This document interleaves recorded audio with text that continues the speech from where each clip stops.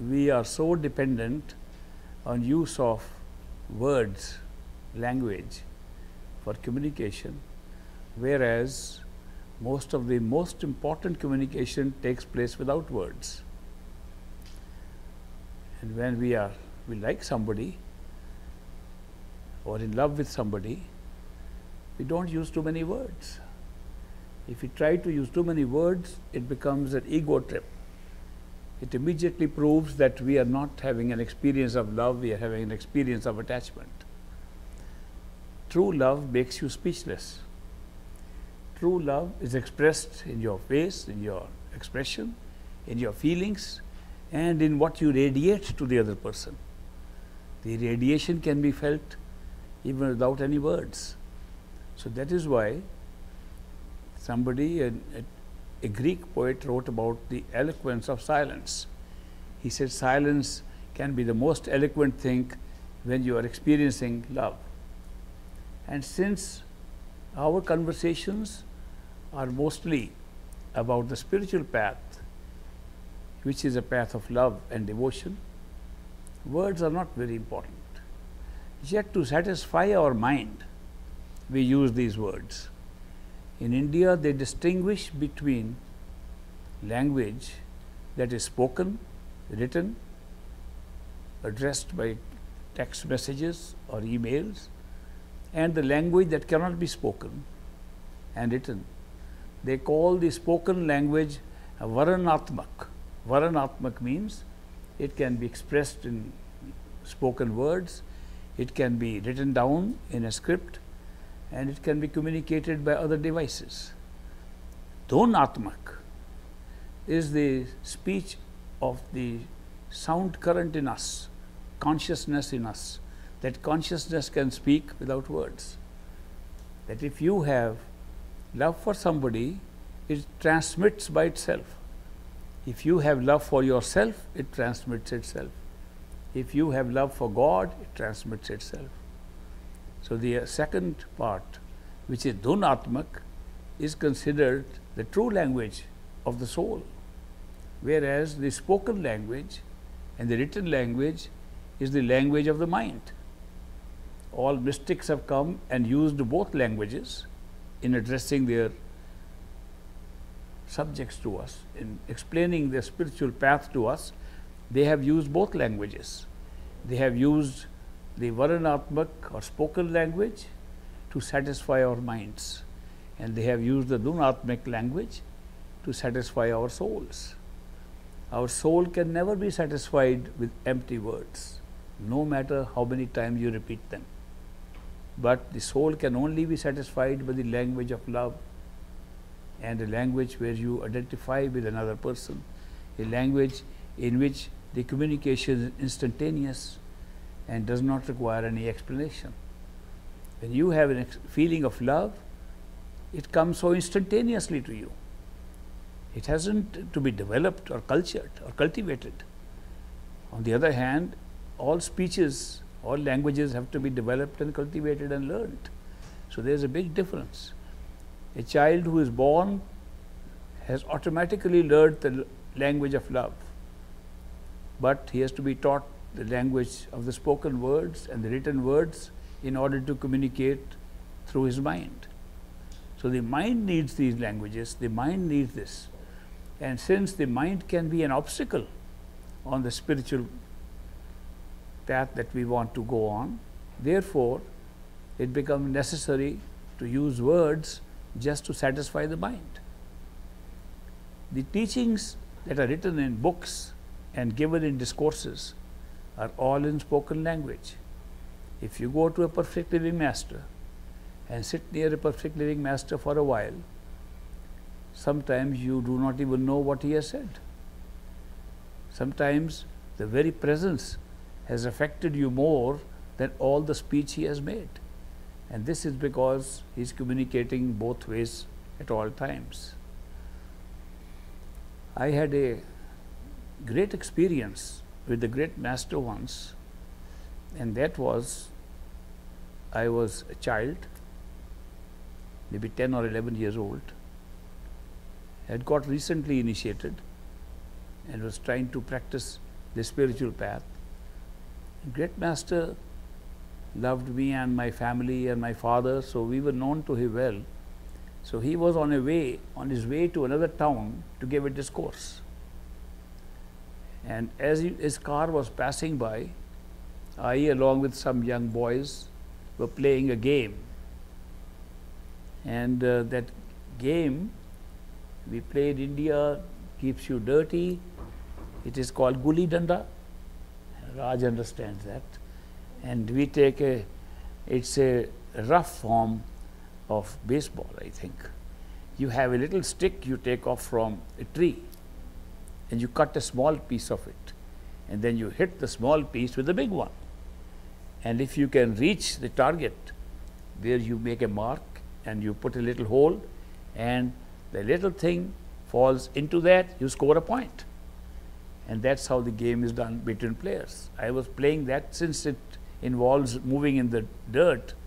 My clothes were dirty and I looked like a little mess, you know, with that game. But when Great Master's car passed, he stopped the car and he asked me to accompany him to Lahore, another station where he was going for a discourse about 25 miles away. And I was surprised that in this state I should be just accompanying him to a formal discourse he was giving. Anyway, I tried to reach the car and open the handle. It was old Ford Ford T car, some model. This is so old at that time. Very few cars were in India at that time. So when I tried to open the door, the handle was stuck. I couldn't open it. Great Master was sitting on the other side of the seat at the back. A an assistant of his and a chauffeur were driving in front. When I couldn't open the door, he moved towards that door and he opened it from inside and said, Get in. So I got in, but I noticed that he had very little space for me because he had himself moved towards the door. But I anyway squeezed myself in and he shut the door and I thought now that he has got me in the car, he will move on his side. He did not. And I looked at my clothes, they were dirty. I didn't know what to tell him. I, I was trying to say in my own mind, should I tell him, Master, you are wearing beautiful white and cream colored dress, ready for that. And I, with my dirty clothes, am sitting next to you. And should I push you? Should I ad advise you? Should I request you to move?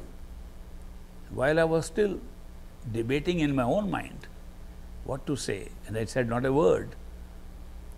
The, the master felt a little sleepy because he began to nod like this with his eyes closed.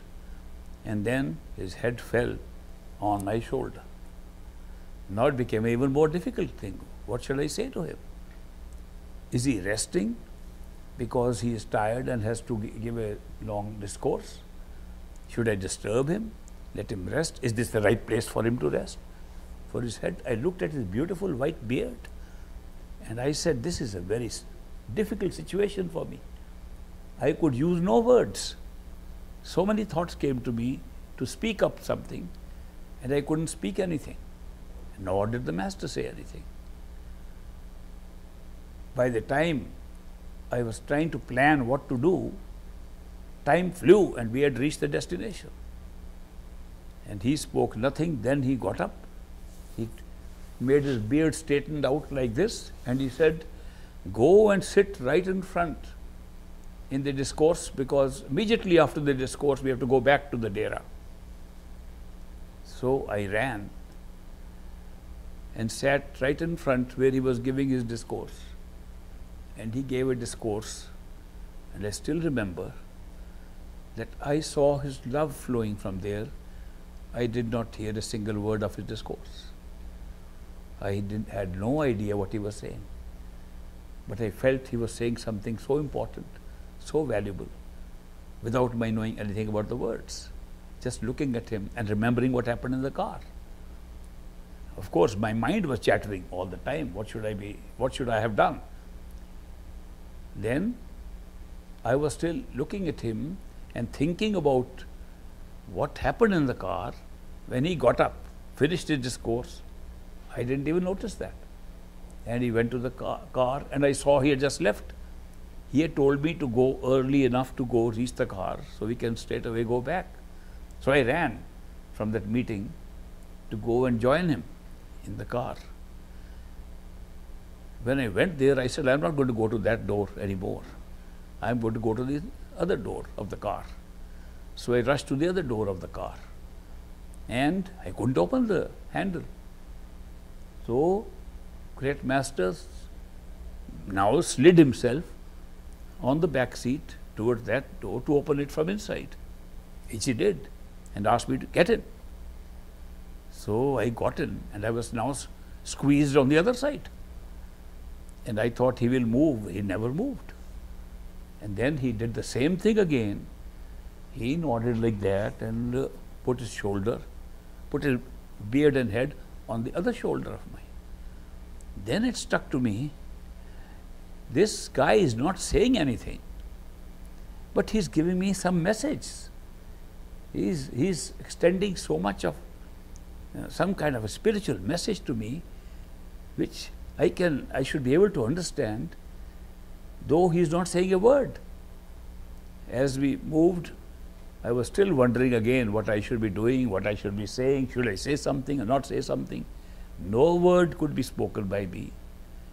And as we reached the dera close to that, he got up normally and didn't even notice what was going on and just rubbed his beard as he would do and said, Go and play. And I got down from the car. This incident happened about 75 years ago. It lives in my mind daily as if it happened today. And I have been pondering over this. No words were exchanged at all. And yet he showed a special kind of love, a special kind of message for me I can never forget. So therefore, as I grew up and did several jobs, I discovered that these shoulders of mine, which I thought had become little, you know, when you put something for a long time, they feel that they are dead. Numb, yes, that's the word. I thought they had got numb because of this pressure and by trying to keep the shoulder up. They have been almost numb forever. And not only that, I have sometimes felt they are not my shoulders. They are his shoulders. And therefore, believing that this is a big message he conveyed to me, you can take anything on your shoulders. That when a master has given you this experience, you can take anything on your shoulders. I have used my shoulders throughout my life to make people work and do things, take risks using my shoulders for support. And I have told them, use your guns and fire. And you don't have to get the reaction of the gun on your shoulder, use my shoulders. It's just a, a metaphorical way of saying that during my several jobs in the government, I had delegated my authority to people and gave them full authority to work on my behalf and take all responsibility and I and my shoulders will bear the responsibility for them. I spent 35, 36 years working in different jobs using these shoulders. Imagine something I could not understand on a small journey of a couple of hours in a car 75 years ago should have changed my shoulders, my life, my attitude forever. And my love for great master grew at a pace that could not have grown by listening to any number of discourses. Also, it is notable that the discourse for which I went, I didn't hear a word of it. What he spoke, I have no idea. My mind was running somewhere else. Why I am giving you this personal example is that masters sometimes convey messages to us in a totally different way. And the words are really being used for our mind. Our mind likes words. Our mind likes rationalization. Our mind likes things to be logical, that they should make sense. If the mind says this makes no sense, it rejects it. So the mind must say this makes sense, and then only it will allow the soul to move forward. So, in order to satisfy the mind, language, spoken language has been used from time to time. But the spoken language is not the only language. And I tell you from experience, not only with the Master, with so many people around the world who are my friends today, that my friendship has not depended on the words we used, but on the silent identification we could do with each other, placing each other in the other's place. I believe if you love somebody, the first thing that happens to you is that you put yourself in that other person's place and see how does he or she feel. If you stay on where you are and think you are in love, then it's an ego trip. And you say, I love you, I do this for you, what have you done for me? Then it's just a business transaction. These attachments do not amount to love. In love, ego is pushed to the back, back seat and the soul comes up in front. In all other activities of life, the ego comes in front, the I comes in front and says, I have done this, I am going to do it. I love my master. I love the whole world. I did something for so many people, they disappointed me. I am, I am terribly dissatisfied. All this I, dissatisfaction, disappointments come because we are not experiencing true love. We are experiencing attachments of various kinds, infatuations, attachments. They do not amount to true love. In true love, the experience is different. If you want to have an experience of true love in this world, there is one person with whom you can always experience it without a problem, and that's a perfect living master. You will find that in the presence of the perfect living master, if you use no words at all, you still get a communication. You still feel something in your heart and soul which your mind can never understand. That is why the perfect love comes from a person who knows who he is and not one who thinks his mind is himself. If you identify with the mind, your language will always be mental. If you identify yourself with your real self, which is your soul, your spirit, your consciousness, you will always have an expression of love, no matter what the situation is, no matter who the person is, no matter where you are. You can go around the world and feel love all around you. You can meet total strangers and feel love for them. This happens because of your consciousness. Being a realized one, realizing who you are. The biggest discovery one can make in this world is to discover your own self. Because all the time we are thinking we are the mind.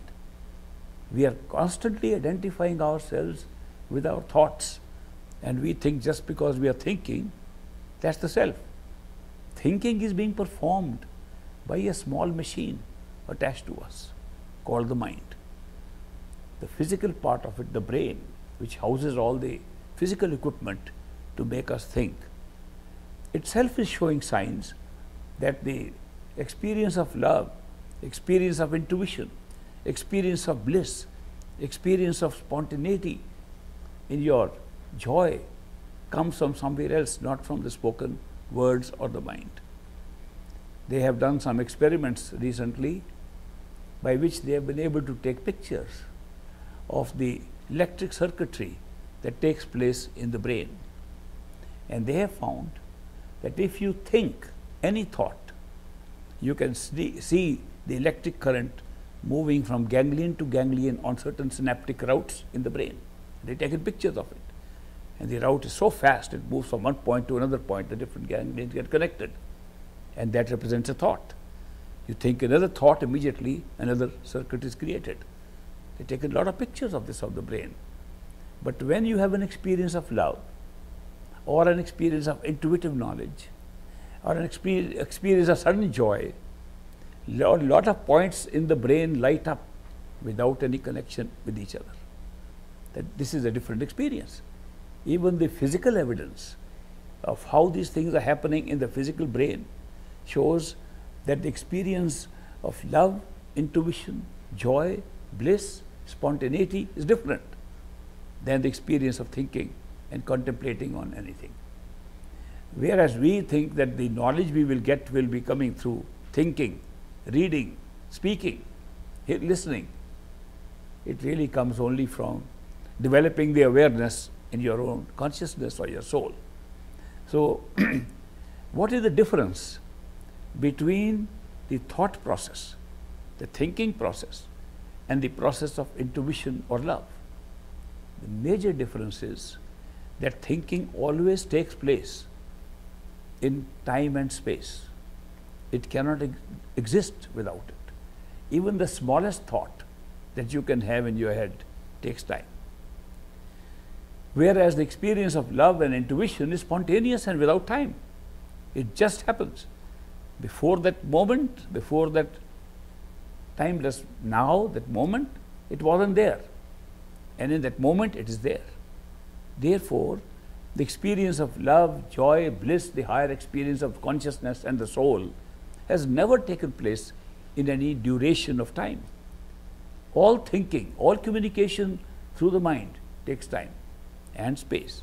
If you don't have time and space, you can neither think nor communicate. Therefore, the difference is so obvious that mind puts us in a trap of time and space. And then we begin to feel that we are the minds and not the souls. This misidentification of our own self with the mind has been the cause of most of our suffering. Imagine if you were to decide from tomorrow morning that you will take your own consciousness and your own spontaneous intuition as your own self, the function of the self. And the thinking mind is only an accessory, a computerized machine given to you to use for communication, for thinking what you want to think, and begin to use the mind in a different way tomorrow morning than you have used it all your life. That means know you are not the mind and give directions to the mind what to think, what to speak, what to listen, what to write. You give directions to the mind deliberately, think this way, not the way you arbitrarily and randomly do, which we have allowed the mind to do all our life. We have allowed the mind to run riot in our head, and we are being carried away by it, and we are listening to what the mind randomly is telling us to do instead of directing the mind to think the way we want it to think. We have become slaves of a mind that was supposed to be our slave. The mind was supposed to serve us and is a very good servant. If you make use of the mind by directing it what to do, you will find the mind is a very good servant of yours. You will tell it what to say, what to communicate, what to think. It, you will not listen to it mind tell me what to do, what I should say and what I should do. We have reversed the situation and by that we have created all the problems because unlike the soul, which has total consciousness, which has no fear or doubt into it, it has all certainty and clarity in it, the mind is full of doubt and fear. So by substituting our own identity with the identity of the mind, we are unnecessarily taking on doubts and uncertainties into our life. The mind generates a doubt over anything. If you are certain about a thing, keep on thinking a little more about it and you will begin to doubt it. The thinking process leads to doubt by its very nature. The thinking process does not clarify. A person who thinks very hard and says, I found a solution, finds it went wrong. Why did it go wrong? Because the mind did not have enough data. The mind is acting on the data supplied to it. It's given certain information, it processes and says this is the solution. And we find one little element of information coming beyond what is known to the mind, the decision changes. The mind's conclusion was wrong. It is wrong most of the time. If we look back in our life, we'll see how many decisions we made by thinking about them and regretted afterwards. I have seen people regretting so many things in their life. Why? because they took those decisions with the help of a mind with inadequate information and with a sense of doubt and fear. On the other hand, people who took decisions based on intuition and their consciousness never had a problem. How do we switch? How do we switch our way of life that instead of listening to the mind, we should start listening to ourselves? The first step is to know who we are. If we do not know who we are by personal experience, it becomes very difficult to distinguish between the mind and yourself. Because our soul, our consciousness is a power. It powers everything. It powers the mind. It powers the senses. It powers our body, physical body. Since it's providing the power, we don't see the power, we only see things that are moving with it. So that is why we see our body, we see our sense perceptions, we see our thinking mind, we don't see the soul. We don't even know who we are. Socrates said, Know thyself. So many philosophers have said, if you can know who you are, you can know God immediately. There's just a short step between knowledge of the self and knowledge of the Creator. Because you will discover that your own self is merely an individualized segment, an individualized point of view of the Creator who has never been divided, and you are residing in the same total consciousness of the Creator. But because you are individualized to have an individual experience and been provided with a mind, senses, and body to have a different experience, you are thinking you are separate and you are different. You are putting God, who is part of you, who is inside you, putting him outside. You want to put him in the sky, you want to put him out in the temples, churches, you want to go to another place to find God, while God is sitting inside you all the time. This is because of lack of knowledge who we are. Therefore, these mystics, perfect living masters, who have come into this world again and again to give us a simple message that the truth lies inside you. God Himself is inside you, the Creator is inside you. You are no different in your own totality, in your reality, than the reality you are seeking. You have become different because your awareness has separated you from the totality and the truth. Therefore, you go within and find who you are. Now, the secret is this, it's been stated again and again. Go within yourself to find the truth and find who you are. The, the kingdom of God is inside you, not outside. God Himself lives inside you, not outside anywhere. Therefore, why don't we go inside? We have been hearing this message for centuries that the kingdom is inside you. Go within, go within. They're all saying so. Why don't we do it? The reason is that we have been used to focus our attention, conscious attention, on things outside of our body. And we have spent all our life searching for everything we want to search outside of ourselves. We have got used to focusing attention on things outside. We have totally forgotten how to focus attention on ourselves. When you focus your attention on something outside of your body, you travel outside of yourself through attention. When you want to focus attention on yourself, you cannot focus on anything. The art of focusing doesn't help at all. The art of concentrating on anything doesn't help at all. It's the art of withdrawing attention that helps. We have never been taught that. Nobody taught us. They all taught us how to concentrate your attention, how to put your attention on a book, how to put your attention on somebody's talk, how to put your attention on important things, how to put your attention all over the world. We have been told how to stretch our attention outside of ourselves all the time, all our life. And suddenly we find that that is no way to know who we are. That the only way to know who we are is to withdraw your attention back to the point from where it is flowing out. Because that's where you sit. Your attention is in yourself, in your head, and is flowing out. It's flowing out through the eyes. When you open your eyes, you look outside. It's flowing through your mouth. You talk, eat, taste. It's flying uh, th going through your nose, going through your ears, going through your two lower apertures. These nine doors upon this body of ours are constantly throwing our attention outside. Where is the chance of withdrawing our attention to our own self? That is why the mystics say It's not easy, but it is possible that you can learn even late in life the art of withdrawing your attention to yourself. You'll discover who you are. You will no longer be dependent on your mind. The mind will become a servant. You will use it and have a very great bliss and happiness even while you are on this earth. Don't have to wait for heaven to come. This will become heaven for you. This is a clear message. So, how do they teach us to withdraw our attention and go within? By simple meditational techniques. They tell us that when a person dies in a physical body, what happens? The attention is automatically withdrawn from the world and goes into the body. Then the attention is withdrawn from the extremities of the body. The patient who is dying, if you go to a hospital and see a patient dying, you'll see the patient first loses consciousness of where his hands are, doesn't know his hands, where they are, doesn't know where the feet are. He's saying, put my feet straight when it's already straight. He's having different feeling. Ultimately, as he's dying, all the extremities die. He's still alive, he's still talking. And his body, the torso, is still alive.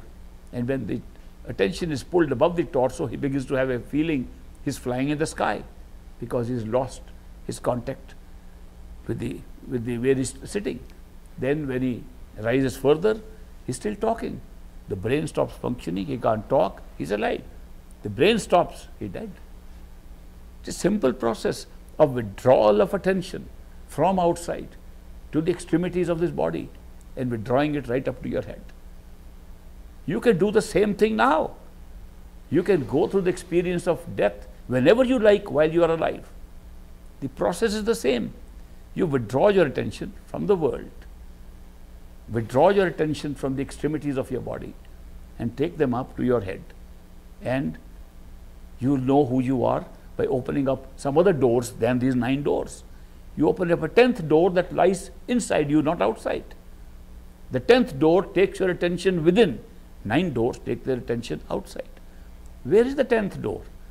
The tenth door you will notice when you are in a wakeful state, like we are now in the physical body, is right behind the eyes. When we look out into the world with our eyes, where are we looking out from? Where are we seated from where we can look out? Where are we seated when we think? Where are we if we are not the body, but the body is a cover upon us? If the body is a vehicle, where are we sitting inside this body and functioning as the powerhouse of this body? It doesn't take too long to, by introspection to see that the attention is flowing out from behind our eyes. Now, the, then the method becomes simple. If we know that ultimately the attention has to be gathered behind the eyes in order to have the experience of dying while living, we can find a meditational technique, simple meditational techniques, repetition of words to stop the mind from thinking other things, listening to the music within instead of listening to the music outside, listening to the sounds of consciousness within the head, which can withdraw the attention. Simple things like that, thinking of a beloved, making the picture of the beloved, picture of the master inside our head. If we do any of these things, imagining we are there in the head, all these techniques work.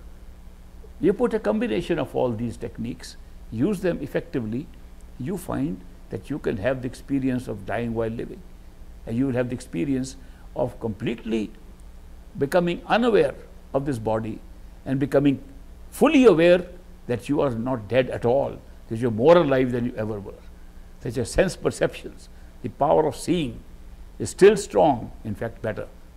That you have a very clear vision, that the colors of the world outside are more different when you see them with the inner eyes than they were with the outer eyes.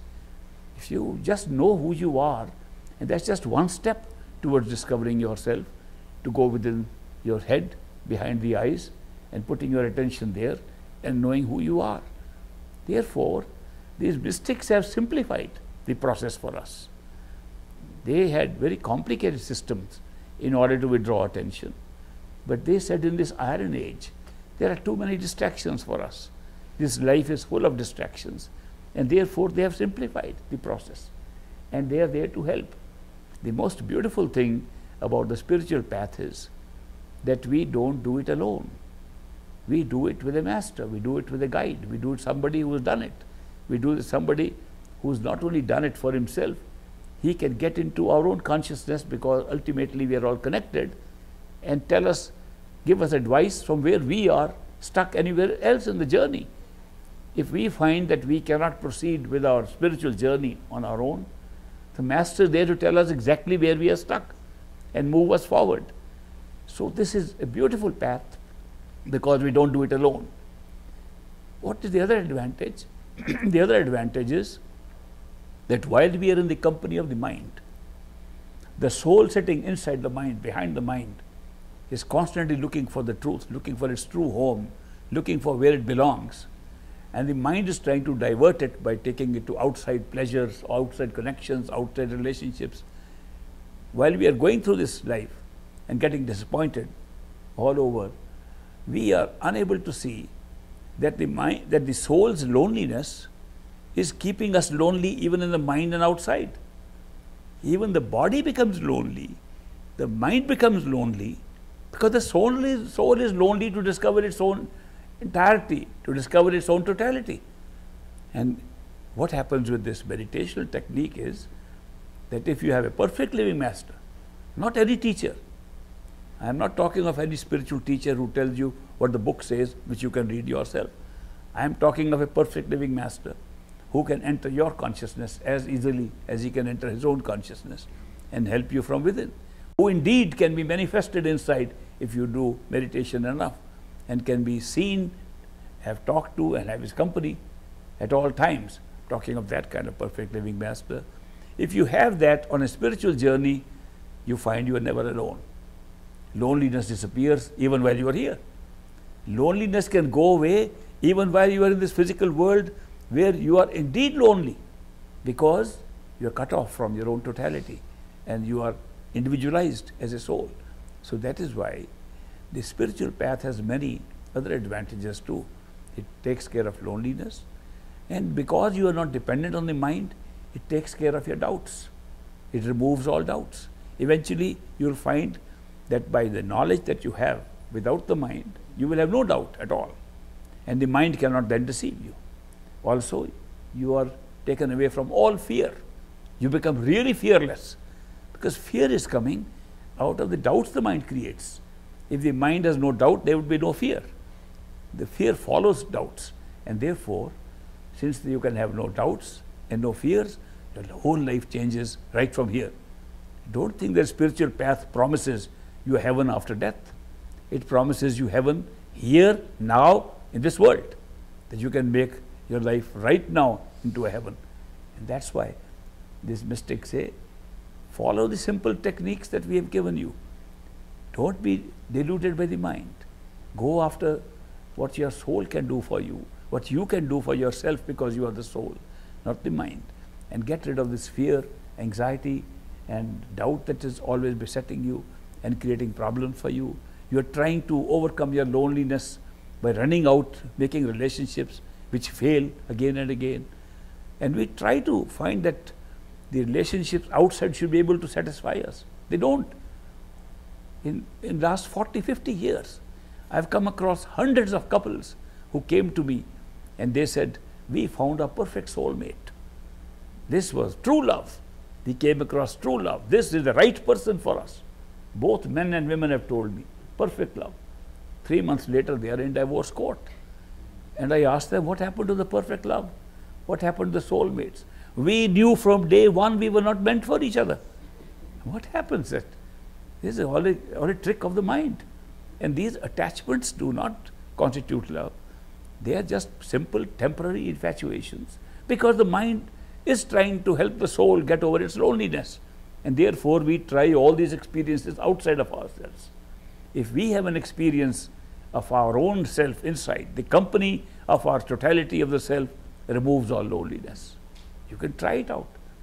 These mystics do not come and say, convert to our method.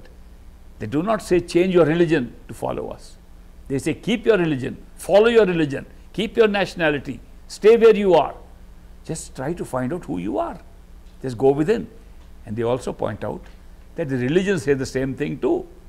The founders of the religions said precisely this They emphasized the importance of going within to find the Creator, the importance of going within to find your own soul.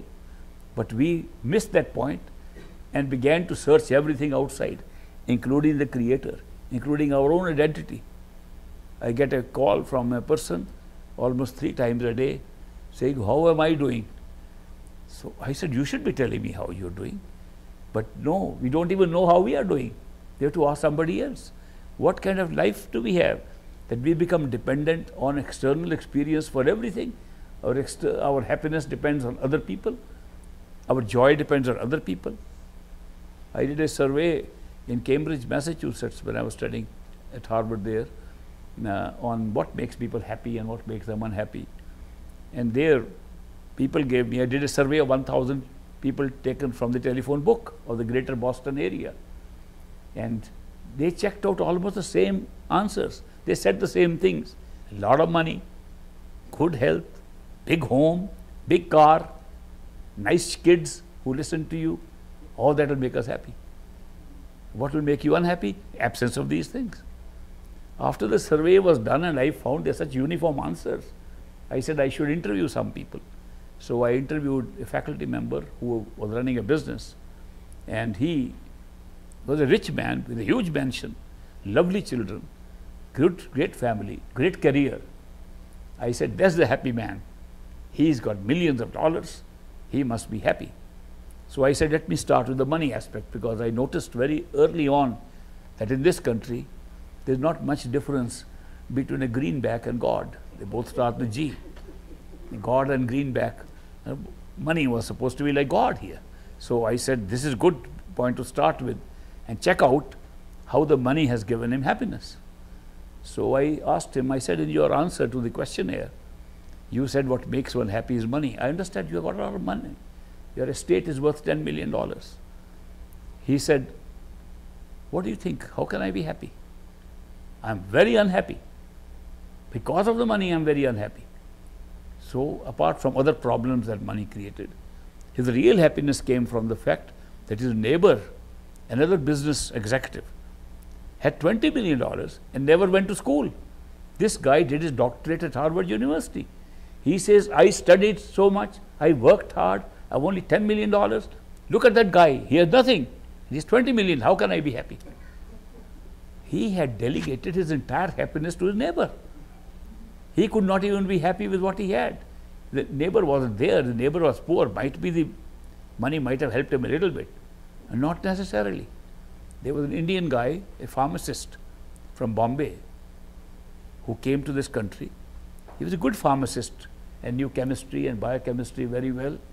He developed some formulas and set up a company here called LyphoMed. And he developed some new antibiotics and developed some new drugs. The company became very famous.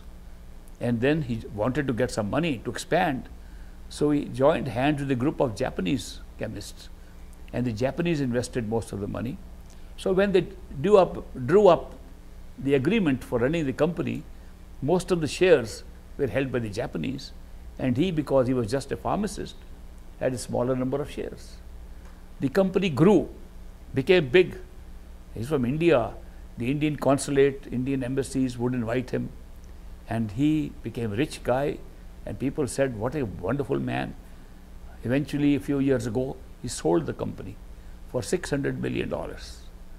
And we, his Indian friends, were so happy for him.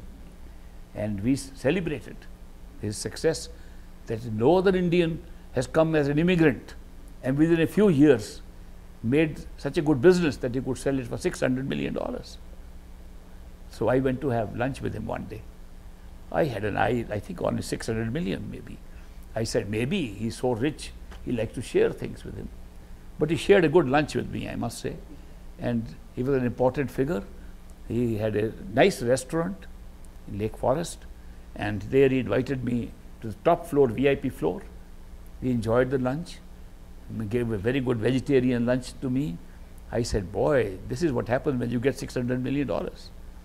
So at the end, I said, I am very happy, my friend, that you got $600 million after all the work that you did you are rewarded well. And he put his face down. Very sad. I looked at him Why is he so sad? And he told me, I never got the money. I said, What happened? The Japanese got most of it because they had more shares. I did all the work, I made all the money, and the Japanese who had more shares took away all the money. So I felt very sorry for him. I sympathized with him, almost cried with him for his misfortune. And while we were leaving the lunch, I asked him, You must have got something. He said, Only 50 million. 50 million made him sad because the Japanese took away the rest. It's not the money. We are delegating our own happiness to other people. We are comparing with the Joneses all the time, trying to say if somebody has more, then we are unfortunate. Okay, I advise some people that if you are only happy if the other person is worse off than you are, then why don't you live in a poor area with poor people all around you? And then their ego was so hurt, then it was not money, ego and bad company I am, I am not rotten company. And some of these guys, by the way, who experimented with me on changing locations to find happiness, themselves came from the ghetto and from the same poor circumstances. Just because they make, made money, they moved to a better location. If you put them back, they were unhappy. So, how are we creating unhappiness for ourselves all the time by trying to do these things external to ourselves? Happiness cannot be found like that. Our mind will keep on making comparisons. Comparisons are always odious, and you see them all the time in your life. So that's why the mystics come and tell us do not try to find happiness outside. It doesn't exist, it's only illusion. And you just feel happy or unhappy depending on your neighbors. Go within yourself to get eternal happiness. Go within yourself to find the true wealth that you are participating in a show, you're participating in a creation. You are one with the Creator in creating something so wonderful, so big, so huge. Look at the big show going on. Go within and watch as an audience. Sit in the audience of the Creator and watch creation from there. How can you miss the joy of such a beautiful creation? All the ups and downs of this creation only add to the spice of the drama. So watch the drama from another another point of view, not from the little character who's got trapped in it and thinks that's his only reality. By being trapped into a drama, into a stage, and thinking you are really only that, what character you are performing, makes us unhappy. If we discover the character was created by us, what we think we are in the physical body is merely a one character created in the big show, and we have a position inside us to watch the whole show. We will not be that little character and we'll be able to enjoy the big show that's going on around us. So that is why such an important part that I share with you because I benefited from the great master's teachings. The point I was making is simple the meditational techniques that mystics teach us. They take us out of unhappiness, they take us out of loneliness, they take us out, out of the misery which we think is befallen us, they take out us of doubts and fears which create 90 percent of our unhappiness in this world. I once did another course with people on fear because I was told that psychologists have recognized that fear is always fear of the unknown. If you know what you are afraid of, you are not afraid of something else. Supplant it, how to cope up with it, how to meet it. When you don't know what it is, you are afraid. So fear is of the unknown. And so I decided to test out what people are afraid of. So I said, write down what you are afraid of on a piece of paper in a group of 20 people. Then we had the seminar.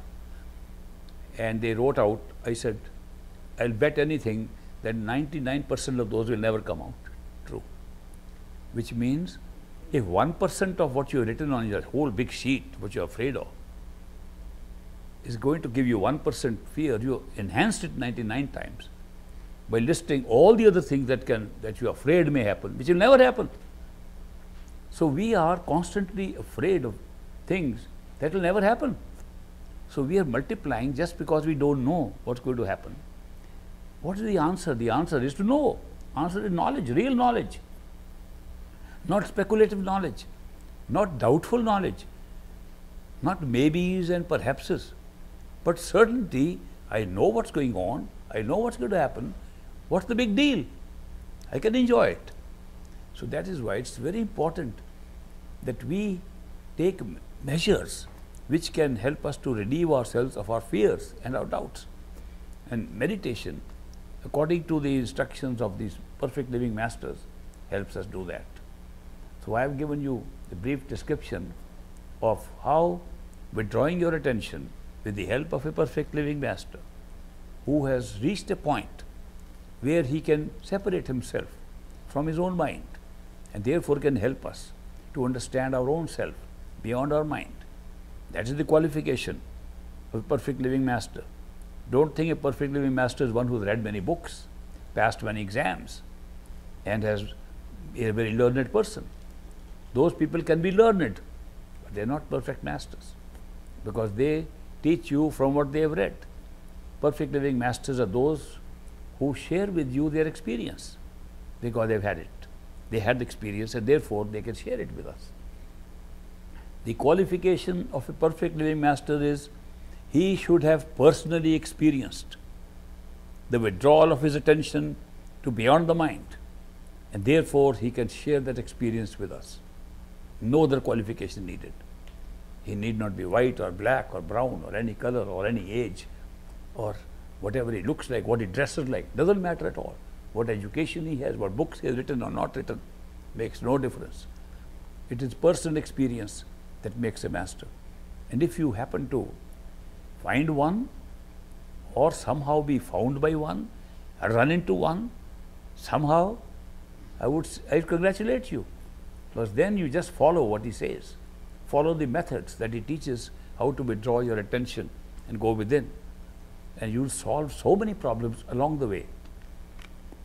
Masters call these benefits that I am recounting to you the overcoming of fear, the overcoming of doubts, the overcoming of loneliness, the, the finding of happiness. They call them as only side benefits, peripheral benefits. They say the real benefit is to discover the whole mystery of creation, the whole mystery of yourself, the whole mystery of consciousness. It is a much bigger game than merely solving little, little problem that we have in this world. That is why, if you are lucky enough to be found by a master, act upon it and take advantage because you can only take advantage of the teachings of a perfect master while you are a human being. Only in human form do we have that discrimination, that experience of free will and choice making that makes us a seeker. If you don't have that experience, you cannot seek. Therefore, there is no connection between the experience and yourself. It's the seeking in your mind that makes you a seeker and therefore you find. The seeking experience is necessary for having any mystical or spiritual experience. You are a seeker, you are found by a master. I can guarantee that from my own experience in this world. I traveled around this world 60, 75 times. Virtually unidirectional. You know, unidirectional means this, this planet, you can go around the world either one way or the other way. You cross the Pacific Ocean and you cross a date line. When you cross the date line one way, you lose a day. When you cross the uh, line the other way, you gain a day. I began to travel one way and then I saw I was losing too many days. So I began to travel the reverse direction. I caught up with my time. Now I go once across the Atlantic, come back Pacific, then I go across the Pacific, come back by the Atlantic. And so I'm balanced. I have seen all over the world. This is the way that you can get the true answers to yourself. There is no difference if you think that the Africans are different from us, the Asians are different from us, as human beings, we are the same. We use our minds the same way. We are slaves of the mind the same way. Our spiritual longing is the same. We all have the same. External tastes and desires and dress and language is different. Internally, we are all the same. We are made like that. The Creator made all of us well equipped to receive spiritual messages, to act upon them, and to get spiritual insights and knowledge. So that's why I congratulate all of you who are seekers here, sitting here. You have used your mind to seek, otherwise, you wouldn't be here. So take advantage of the seeking, and if you haven't found a perfect living master, or not, no master has found you, just seek little more. Don't run around to find a master. If, if you have to run around and find a master, I have a doubt if that will be true master. But if the master runs to and finds you, more likely to be a perfect living master. Because the master must find out. In India, we say, when the chela is ready, the guru appears. They never say when a chela is ready, when a disciple is ready, he can find a guru. They say when he is ready, the guru automatically appears in his life, which is very true. A true guru is one who knows your seeking from inception. No matter what time you meet him in your life, when you meet him, you'll find that you've known him all your life. You will feel that this knowledge was there much earlier than you thought. That the person you are talking to seems to know more about you than you know yourself. These experiences convince you. They may take a little time because the mind may come in the way. But once the mind is satisfied with external knowledge, with knowledge of books, rational knowledge, logical knowledge, and the mind says, This makes sense. You move forward, and you will be able, your soul will be able to recognize a perfect living master. So that's why uh, you don't have to worry to search for a master, be ready for a master. And readiness means ready in your own heart. You don't have to shout for it. You don't have to loud, speak loudly. Don't speak any words. Just seek in your heart. And, and you will see a master come into your life by coincidence. This coincidence is no chance meeting. It's a design made by the Creator Himself. The Creator speaks in two languages to us the language of coincidences, circumstances outside, and the language of intuitive knowledge inside. The rest is all mental game. The mind speaks and mind tells us what to do, mind shows us the world is a mental game. But the intuitive knowledge inside, coincidental happenings against the laws of probability, those are language outside.